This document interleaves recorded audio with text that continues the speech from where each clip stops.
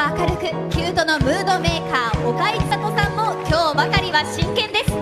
ハロプロに日本一を持ち帰るため選んだ楽曲はご両親の影響で5歳の頃から聴き続けている名曲渡辺美里さんの「マイレボリューション」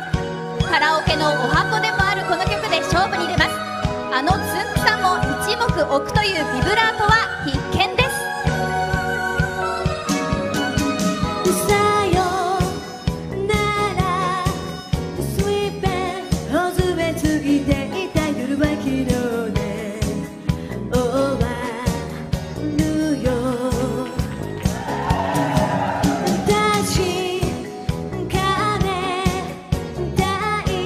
君に会えた意味を暗闇の中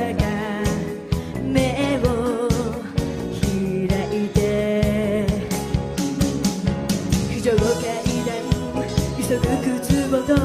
眠る世界に響かせない。タクシーの隅に倒れたバ